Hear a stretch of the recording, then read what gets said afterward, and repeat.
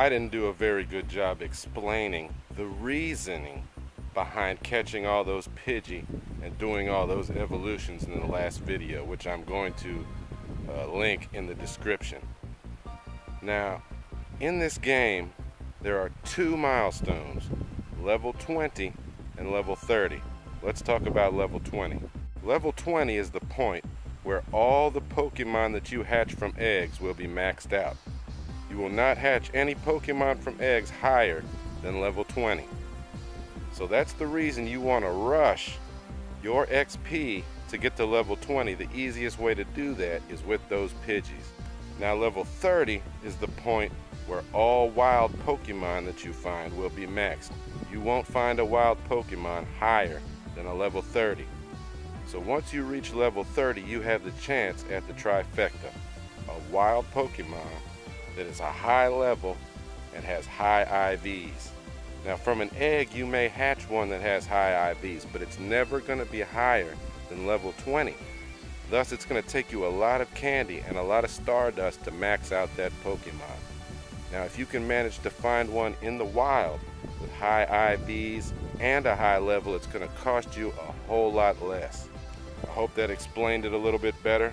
I'm going to go through a bunch of evolutions, hatches, and highlights of my wild catches this weekend. I'll see y'all tomorrow.